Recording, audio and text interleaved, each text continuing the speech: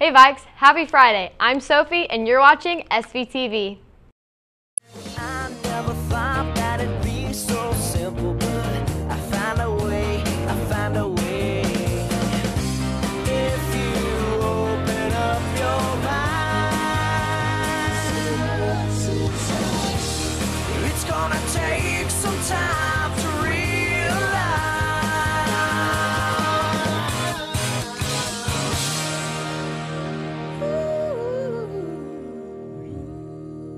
Today is the last day you can turn in your Washburn University papers and the last day you can drive without a parking pass. So make sure you turn in your papers to Mrs. Varner and get a parking pass from the security office.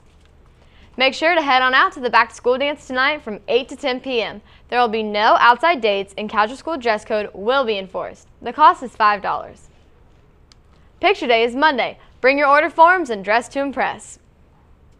For all you non-seniors who would like to take a fun trip to Boston and New York City, need to see Mr. Elliott during activity period next Wednesday. Also next Wednesday, there will be auditions for the fall play.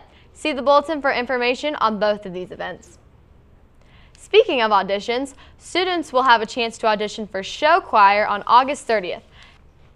If you want a chance to get involved, make sure you come to auditions next week.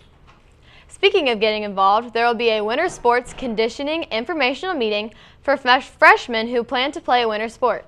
10th through 12th grade athletes can contact coaches Cox, Kelly, or Tinsley for more information. All right, we'll head over to Josh to see what the weather will be like for the rest of the day and for this weekend after this commercial break. Throughout the month of April, SAFE will be rewarding All right. students who have pledged to wear their seatbelt and drive safe.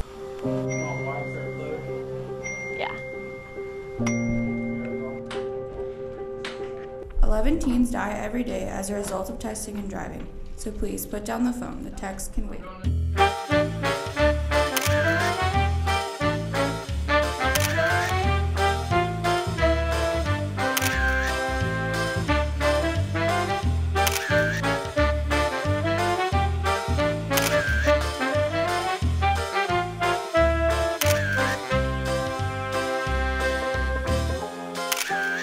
Picture Day is Monday, August 27th. It doesn't matter what your look is, just make sure you show up.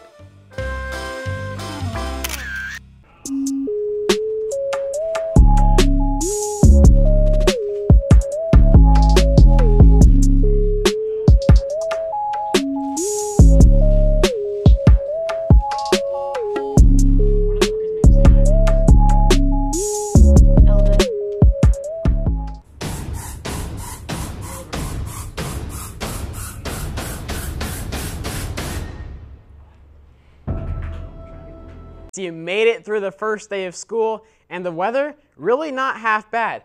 But despite the rain we've received the past couple weeks, we still have a extreme drought in pretty much all of Shawnee County.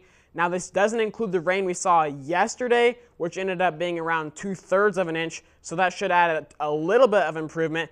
But we need to see a lot more rain before that we see this drought really start to get a lot better. As we go into this weekend, it's going to get very hot. Air temperatures will be generally in the middle to upper 90s, and combined with some pretty muggy air we were talking about a few days ago, that's going to result in heat index values mostly in the lower triple digits. So get ready, we're tracking a very hot weekend ahead.